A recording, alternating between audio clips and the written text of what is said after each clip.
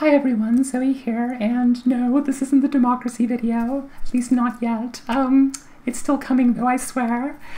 Instead, I'd like to talk a little bit about the deteriorating state of transgender rights in the United Kingdom.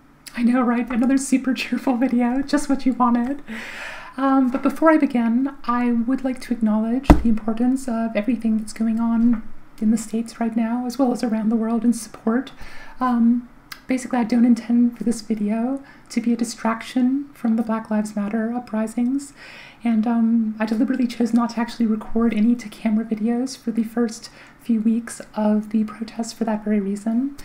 So um, hopefully it'll become painfully obvious over the course of my next few videos that I'm 100% in solidarity with the protesters and that I don't believe for one minute that um, centuries of accumulated systemic racism in police forces can just be um, reformed. Uh, these institutions definitively need to be progressively defunded, dismantled, and replaced with you know, transformative and restorative justice approaches that befit a civilized society, unlike the cops. So yeah, for anyone who hasn't like immediately downvoted this video and run for the door, um, I'm going to quickly situate the UK amongst other European countries when it comes to LGBT rights. Now, ILGA Europe is an organization that monitors national policies and each year releases a scoring of the best and worst places to live if you happen to be part of the 10% of the human race that is LGBT. Uh, and on its scale, 100% means full equality for LGBT folk, whereas 0% um, represents, you know, gross violations of human rights and widespread violent discrimination against queer communities. So, you know, quite the spread. Unsurprisingly, um, several of the worst ranking nations like Turkey, uh, Armenia, Poland, Russia, and Hungary, obviously, have all banned pride marches outright and similar events. Um, this is a pretty simple strategy, and it's intended to force LGBT people into hiding and to erase us from public awareness, like that ever works. I mean, Poland is a very extreme example where I think at present over 100 municipalities, which is to say like one third of the entire country, have declared themselves to be LGBT free zones you know, apparently to encourage citizens to harass and stigmatize anyone who isn't heterosexual and cisgender. Romania uh, has gone further still, uh, just this Tuesday, in fact, having approved a bill which forbids any discussion of gender theory in schools or universities. So, this is um, darkly reminiscent of the UK's notorious Section 28, which the Conservative Party passed back in 1988 in an overt attempt to basically erase LGBT people and history from the British education system. I mean, they framed it as um, banning the promotion of homosexuality, but it was a deeply pernicious uh, piece of legislation which remained in force for 15 years, during which time teachers could literally be arrested for daring to suggest that queer people were just a valid part of human society as straight people were.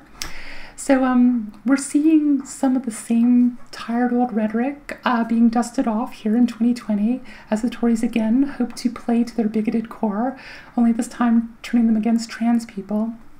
But we'll come to that in a minute.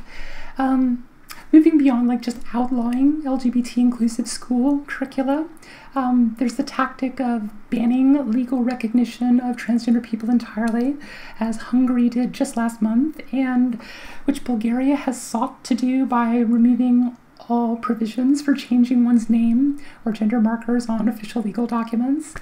Again, the goal here is to basically make it impossible for trans people to exist and to inspire hate groups to persecute them you know, just in case the government's agenda wasn't clear. So this approach um, has actually further metastasized in Russia, where they have a government that is openly anti LGBT and which has been pursuing legislation to outlaw all public displays of same sex affection and of variant gender identity. So, note that this is the same exact government which tacitly greenlights the activities of terrorist groups like Occupy Pedophilia and Parents of Russia, which um, bait, lure, abduct, and torture LGBT people, typically gay men, um, on camera, and then they would later release these videos to um, their slavering fan bases. Sorry, I probably should put a um, content warning at the start of this video. But suffice it to say, I'm never going to go back to Russia again. Um, I mean, I don't know why we should be surprised. Horrific vigilante mob actions like this are the inevitable consequence of painting LGBT people as potential sexual predators, despite all of the evidence to the contrary. In fact, what happens is that we become the prey of gleeful, merciless hate groups inspired by truly dreadful human beings um, who only ever seem to use their positions of privilege, power, wealth, and influence to demonize innocent and vulnerable communities. I really wish they'd get another hobby, I swear to God. Anyway, um, I could spend a whole series of videos exploring the sustained assault on LGBT plus rights that are um, currently underway worldwide, but my focus today, as I said, is on what's happening here in the UK. So, briefly, um, the Conservative government under Boris Johnson is doing its level best to ensure that Britain becomes yet another dystopian hellhole for LGBT people. And they're starting, as usual, by targeting the transgender community because Tories have no imagination. So, um, you'll remember ILGA Europe. Well, year on year, the UK has continued an alarming descent down the rainbow list. So, it had a high water, watermark back in um, 2015 of 86%, which isn't bad. I mean, it's no Malta, but it wasn't awful. But then it went down to 81% in 2016, to 76% in 2017, to 73% in 2018, and then down to 66% in 2019, just last year. So, yeah, that's a breathtaking drop of 20 percentage points in four years. So when LGBT people tell you things are getting very, very scary for us in Britain, you should really take us seriously. Because this trend is only accelerating under our brutal Tory government, I mean, having bungled its response to COVID 19 so very badly that the UK um, briefly had the world's highest number of excess deaths per capita, it's now desperately trying to distract public attention from that mess by failing in yet another arena. I mean, it's basically what the Tories do. You see, um, at the start of this week, a story in the Sunday Times reported on a leaked paper which revealed the Tories not only would not pursue reforms to increase equality for transgender people in British society, but in point of fact were planning an all out assault on basic trans rights, including uh, denying appropriate health care to trans youth and banning trans adults from single sex spaces matching our lived gender. So, um, the word on the street was that Liz Truss, the, um, the Minister for Women and Equalities, would present these proposals during this Wednesday, Wednesday's session in Parliament. And yeah, if you think it's slightly Orwellian that the um, Minister for Women and Equalities is ardently pursuing legislation that will in fact endanger millions of women and vastly increase the amount of inequality across Britain, then congratulations, you're paying attention. I mean, to be to be honest, everything about um, our current government is basically Orwellian. But um, yeah, for those of you who aren't as steeped in LGBT issues as most trans folk are, let me provide a bit of context. And yes, I promise it's going to be a really brief history lesson. Don't panic. Um, I guess let's start. Uh, back in 2004, the UK passed something called the Gender Recognition Act, and this created an arduous process by which trans people might achieve legal recognition of their gender identity. And the system, as it stands, is designed to make this as difficult and drawn out as possible, as befits, you know, the current gatekeeping mentality towards trans and non-binary folk in the UK. For instance, um, all applicants for a gender recognition certificate must first spend at least two years living openly as their declared gender, must assemble a broad spectrum of evidence and affidavits proving that they are trans, and then must submit to intrusive questioning by an anonymous panel that they never meet face to face of so called experts, who knows, we don't know who they are, who may then decide, without any required justification, nor any real appeals process to just reject the application. It's been like this for 16 years now. So then, um, in 2010, another piece of legislation called the Equality Act came into force, and this offered some progress um, by adding gender identity to the list of um, so called protected characteristics. So these are things like age, um, disability, religion, ethnicity, sex, sexual um, orientation. You know, things that employers and businesses cannot legally use as the basis for discrimination. Now, this unquestionably was a positive step, but um, it did nothing to address the, um, the burden that transgender people had of trying to achieve gender recognition in the first place. So then, um, in 2013, the UK passed the, um, the Marriage Same Sex Couples Act. So this finally joined other countries in legalizing marriage between gay and lesbian couples. So another, obviously, the LGBT community is very happy to see this step, but um, there were serious concerns remaining about how it applied to couples where either spouse was transgender. That is, the wording was such that it granted the cisgender spouse the power to instantly annul an otherwise happy marriage if they disapproved of their partner's gender identity. And this is sometimes referred to as the spousal veto. So then, um, in 2016, you see we're getting there, hang with me, the UK's Women and Equalities Committee published a comprehensive review of the Gender Recognition Act, and it basically just went through enumerating its many deficiencies, as well as some related ones in the Equality Act, and recommending that the whole thing be reviewed and revamped. Now, the following year, uh, the Scottish government published its own review of the GRA, and um, in it, it noted that the GRA placed intrusive and onerous requirements on those applying for gender recognition and proposed that it be reformed to bring it in line with international best practice. So, yeah, finally, um, in 2018, the Government Equality Office of the UK finally agreed to conduct a widespread consultation into potential reforms to the GRA and that ran from July to October of that year and elicited feedback from well over 100,000 people, plus hundreds and hundreds of charities and um, other organizations, the vast majority of which were broadly in favor of simplifying the process by which trans people could amend their legal gender status. Now, such reforms, had they been implemented, might have brought the UK more in line with other nations that actually permit trans adults to self declare their gender without, you know, having to undergo, oh, sterilization or other medical procedures. Um, this is the case in like Argentina, Colombia, Denmark, Ireland, and of course Malta.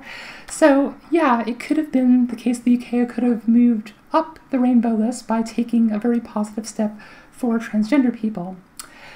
Predictably, however, uh, that consultation brought the bigots right out of the woodwork.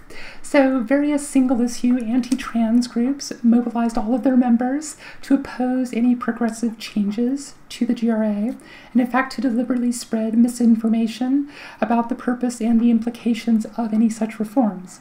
So, yeah, these transphobic organizations um, have access to significant sources of funding to bankroll their hate campaigns, not to mention documented links to the American far right and religious fundamentalist groups and publications, which have repeatedly shown zero interest in protecting women's rights, but every interest in controlling women's bodies and policing their lives. So yeah, these um these British anti-trans groups, which style themselves as feminist whilst abandoning every single tenet of feminism, are um, in technical terms what we would call useful idiots for regressive right wing ideologies that seek to entrench the patriarchy and to relegate women to subordinate societal roles. So the TERF, I'm sorry, the gender critical denizens of Mumsnet seem perfectly oblivious uh, that their hateful rhetoric and actions end up harming all women. And let's not forget trans men as well. So, though I could go further and actually point out that um, greater intolerance uh, weakens society as a whole. So it's not just trans men and trans women, it's everyone who gets to suffer in the end. You know, yay. Which, unfortunately, is precisely what we've seen here in the UK over the past couple of years, where there's been this marked uptick in, well, the demonization of trans people in the tabloid and, let's face it, mainstream press. The seemingly endless deluge of factually inaccurate articles has succeeded in stoking mistrust and fear um, of an already marginalized group that has done absolutely nothing to deserve it because the UK media is um, it's clearly more interested in generating clicks and ad revenue than it is in engaging in anything resembling, oh, I don't know, journalism. Uh, it chooses not to present the overwhelming body of evidence that indicates that transgender people are not a threat to anyone.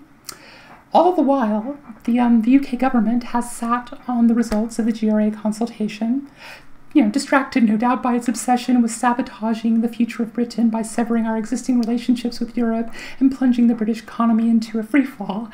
Uh, in fact, it dragged its heels so very long on releasing the results or discussing possible reforms in the wake of the consultation that the Scottish government finally carried out its own public consultation, which ran from December of last year through to March of this one.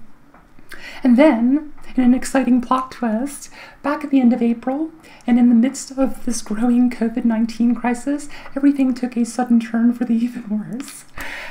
Liz Truss, you know, Minister for Women and Equalities, revealed she would propose specific changes to the GRA by this summer but she couched her announcement in the form of very familiar dog whistles to UK transphobes.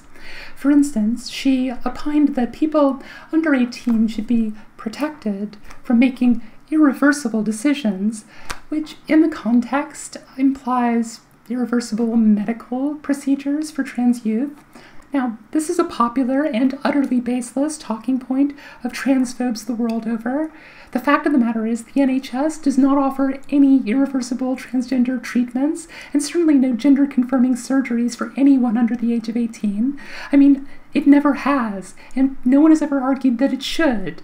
This is a complete fiction, or to put it more bluntly, an outright fucking lie that is presented by anti trans campaigners on Mumsnet and other hives of scum and villainy in hopes of alarming uninformed parents.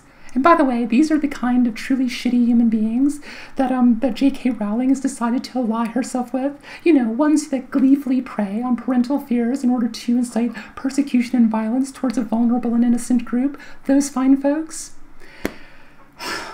Similarly, Liz Truss, this claim that um, single sex spaces require protection. The clear implication here being from trans people, despite the fact that we already have laws in place for assault. So it doesn't matter whether it's in a public toilet or anywhere else, we don't need extra legislation to make the current laws apply to trans people. So her comments can only be interpreted as her signaling that she would seek to deny transgender people access to public toilets and changing rooms and swimming pools and domestic violence refuges and, and every other single sex space imaginable that correspond to their lived gender.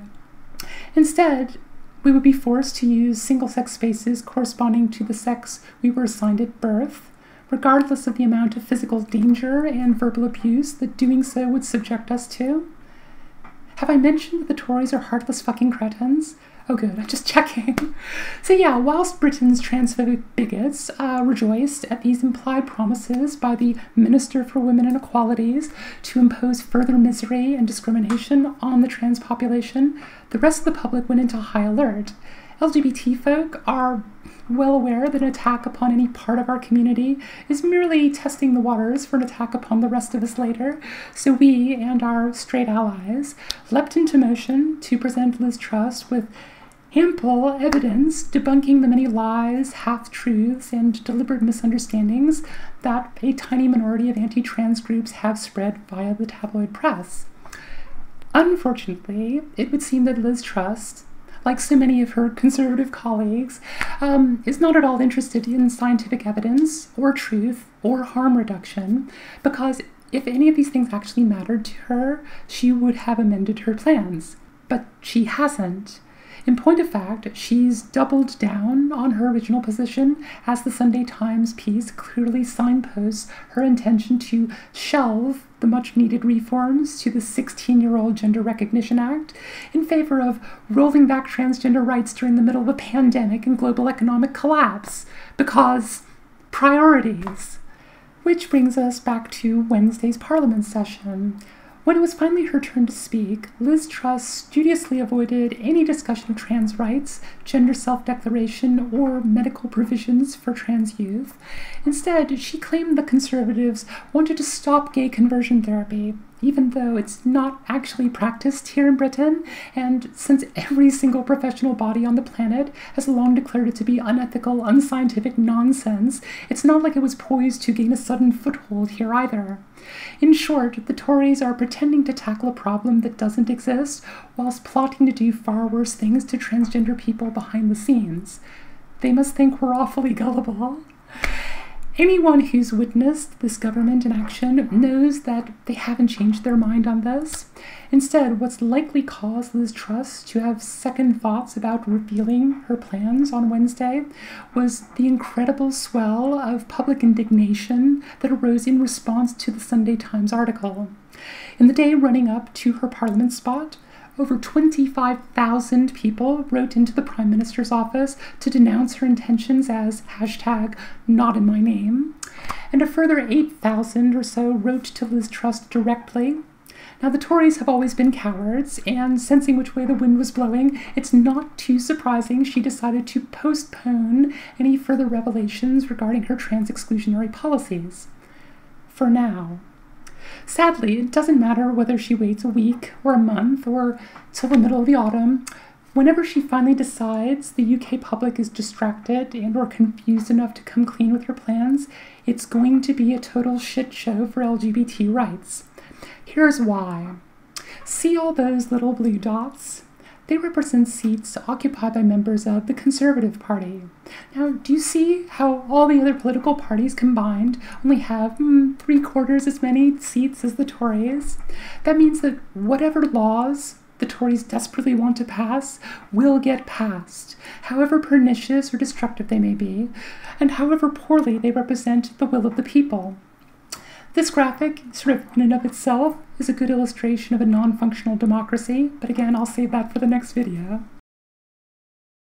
Despite the fact that 70% of the 108,000 respondents to the 2018 GRA consultation told the government in no uncertain terms that they don't consider trans people to be any sort of threat and would prefer that the process of legal gender recognition be simplified for them, the Conservatives are doing the exact same thing they do every time they receive evidence that contradicts their current approach. First, they ignore it. Second, they claim they weren't aware of it. And then third, they desperately try to discredit it. It's the pattern they followed when pushing through Brexit. It's the pattern they followed for responding to COVID 19. And what a shock! It's the pattern they're using for dismantling trans rights. They've actually had the cheek to suggest that the GRA consultation results were skewed by an avalanche of responders generated by trans rights groups. Wow, let's um let's unpack that, shall we? Trans and non-binary people comprise maybe 1% of the British population. We are a marginalized group, and the entire UK media has spent the last few years painting a huge target on our backs. Also, unlike many hate groups aligned against us, whose members have been shown again to be connected to the well funded religious right in America. LGBT charities and rights groups often operate on shoestring budgets. We don't have the resources to skew a nationwide consultation in our favor. We barely have the resources to counter and debunk the unending barrage of lies spewed about us in the press. But if common sense isn't enough to sway you, then there's an even stronger argument in support of why the GRA consultation results are almost certainly valid. Long running studies, uh, like the British Social Attitudes Survey, which has tracked UK attitudes towards sexual relationships, amongst other things, since 1983, show an ever increasing support for the LGBT community. In fact, the most recent BSA data finds that wholly 83% of the British public state that they aren't prejudiced at all towards trans people. And furthermore, that 49% responded to say that they feel any sort of prejudice or discrimination towards trans people is always wrong. By contrast, only 6% of those who responded stated that being prejudiced against trans people was rarely or never wrong. So let that sink in, assuming, as we do, that both trans inclusive and anti trans organizations encouraged members of the public to respond to the GRA consultation back in 2018, then out of every 100 random members of the public who were motivated by these arguments to take part, at least 49 of them would have responded in favor of trans rights, whilst at most maybe six or seven of them would have argued against them. Therefore, a trans positive response rate of 70% is far from an unexpected or anomalous result on the 2018 GRA consultation, especially seeing as the UK public has already demonstrated repeatedly over the course of four decades its growing acceptance of trans people and its growing distaste for anti trans prejudice. The government knows this, and it's deliberately arguing in bad faith when it pretends that the results aren't representative of the UK population. Recall as well that um, they've been sitting on these results for two years now because they weren't the ones they wanted to hear. So, should all of us who long, you know, to achieve a just, tolerant society simply pack it in in the face of the chokehold the conservatives currently have over UK law? Hell no. We in the LGBT community are fighting for our rights in every way we possibly can, and we're not going to roll over just because the Tories need another convenient scapegoat to deflect public anger onto. However, the situation is still serious, and we won't be able to stop the UK from gradually going the way of other regressive European countries like Poland, Romania, Hungary, Bulgaria, and Russia. Remember the horror stories there without the steadfast support of our straight allies. So, what can you do to help? Well, obviously, you have to take a stand for LGBT folk right now.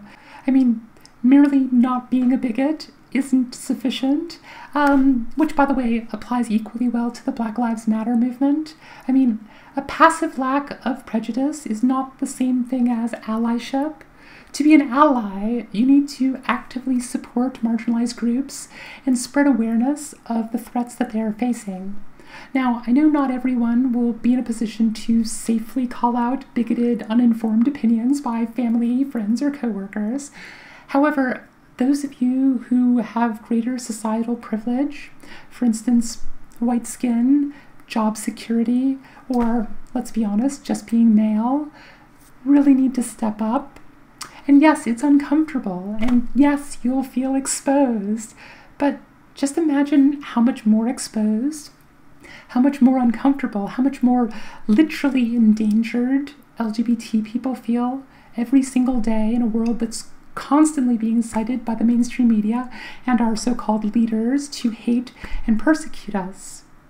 So, if you're willing to help, let me supply a few arguments that you can use whenever someone raises the trans issue. First off, uh, the stance of the medical profession is that trans people are scientifically valid.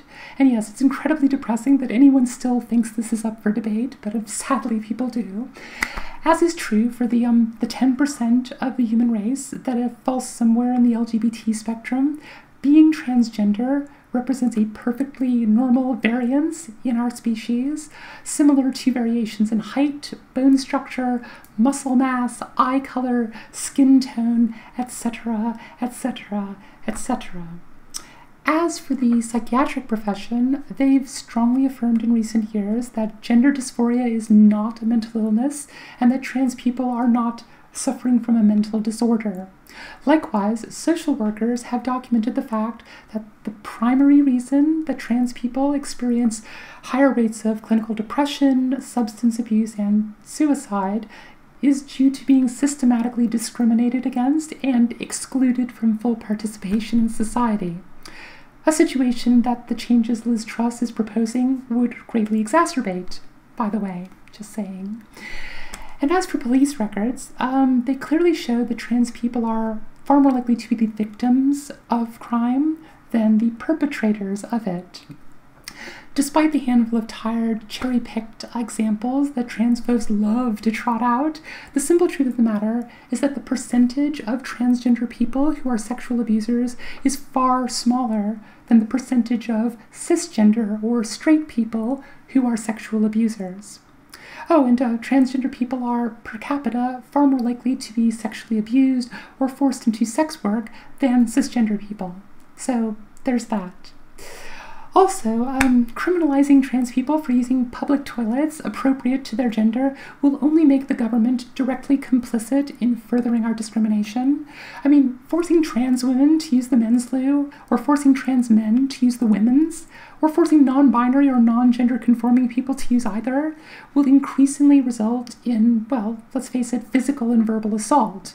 This is because that 6% of the UK population who feel prejudice against trans people is rarely or never wrong will feel emboldened to take matters into their own hands. Not to mention that any cisgender woman whose appearance just isn't deemed sufficiently feminine by these bigots will suffer the exact same questioning and obviously abuse. So I've shown you that these sorts of you know, bathroom bills that we've heard going ahead in the states, and fortunately in some districts been um, having been repealed, harm the very people that they claim to protect. Liz Truss knows this, this government knows this, and they just don't care. Um, the Conservative Party has always stood for the patriarchy and will be perfectly happy to see women's lives more closely monitored and constrained as an accidental consequence of the legislation that they are hoping to push through. So we need you to help us fight this, if only to protect the freedoms of the people that you personally love and hold dear.